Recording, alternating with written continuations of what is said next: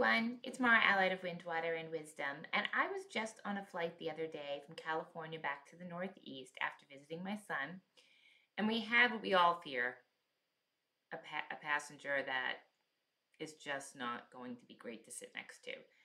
So I'm traveling as inexpensively as I can. I'm in the back of the plane, I'm in a middle seat, and I have this passenger next to me who is just not, unfortunately, he was not mentally well. He was taking excessive pills, he was drinking um, excessively. It was very early in the morning. He was swearing, he was rambling, he was disgruntled. And we had to sit next to each other for six hours. At even one point, he was passed out so cold, he was just flopping onto me. So, not ideal.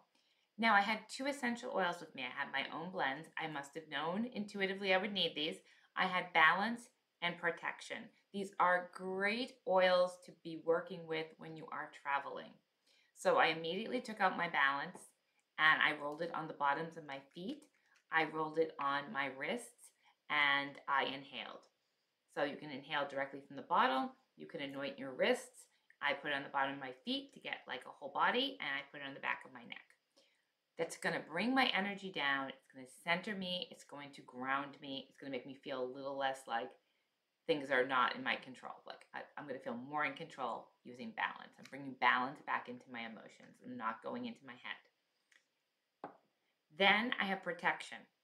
Now, how I use protection is I put the oil in my palm, I rub it together, and then, of course, I'm on the plane, so people might think I'm crazy, but I just actually just put it over me energetically as if to protect my energetic field. But if you don't feel comfortable doing that in public, you can inhale and you can anoint the wrists, back of your neck, your throat, your forehead, your feet. But I just love to just kind of go in the ladies' room or men's room and just kind of put it over your energetic field all the way to your feet and just ask to be protected from any negative energy that people around you may be carrying or residual energy that's around that is not in your highest and best. So that's how I survived my flight. They help tremendously. They're available at my shop. If you have other oils, the oils I would use if you have on hand, myrtle, which is in my protection, is a protection oil. That's an oil that I use all the time for protection. So you could use myrtle if you have it. And then if you were looking for that grounding, vetiver would be a good one if you had that on hand. Or the Shinrin Yoku, um, the forest bathing one.